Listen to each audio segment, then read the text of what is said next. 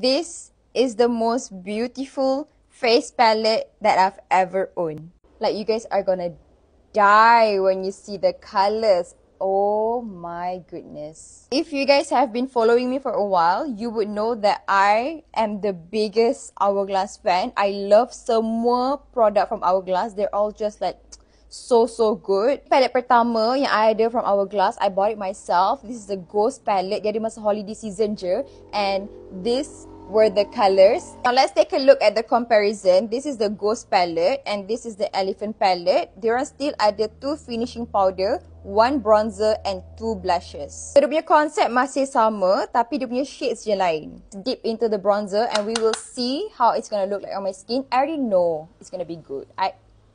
So... Mm-hmm. Mm-hmm. So beautiful. I noticed is that dia macam ada a little bit of glow. So, this is with bronzer.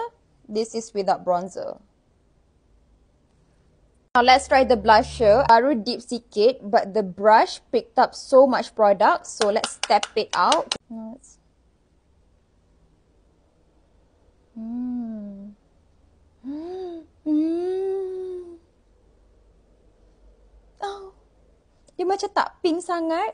Tapi macam tak light sangat. Dia macam suitable for like everyday wear. Dia macam dia ada glow. Nampak tak ada glow? Sebelah sini kita cuba the other blusher pula. Dari depan dia dah nampak dah beza dia. Both sides cantik. I look so glowy walaupun kita pakai highlighters lagi. I have two finishing powders. This is dim light and this is soft light. To be honest, I don't know what's the difference. But kita akan cuba dua-dua. Right? And then just